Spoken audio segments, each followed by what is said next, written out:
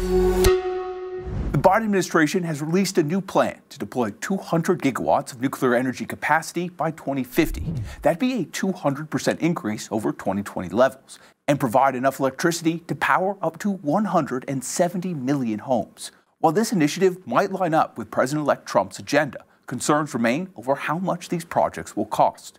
To achieve its nuclear goals, the federal government is calling for the construction of new reactors, large and small, as well as a renewal of license to extend the lives of older facilities and the restarting of ones that have been retired. However, building additional reactors can be a long and costly process. In 2023, the first new U.S. nuclear plant in decades came online, seven years past its original deadline and $17 billion over budget. Small modular reactors, or SMRs, have been built as a cheaper way to construct nuclear power infrastructure.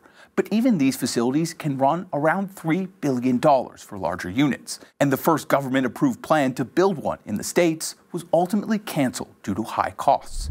As for restarting older reactors, there are several projects already underway.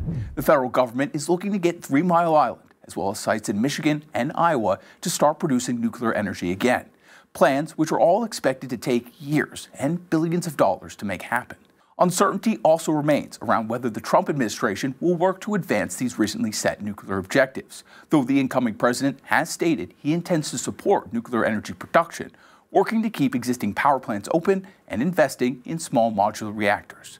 To get more stories about the role nuclear power is playing in the renewable energy transition, download the Straight Arrow News app and sign up for alerts from me, Jack Aylmer.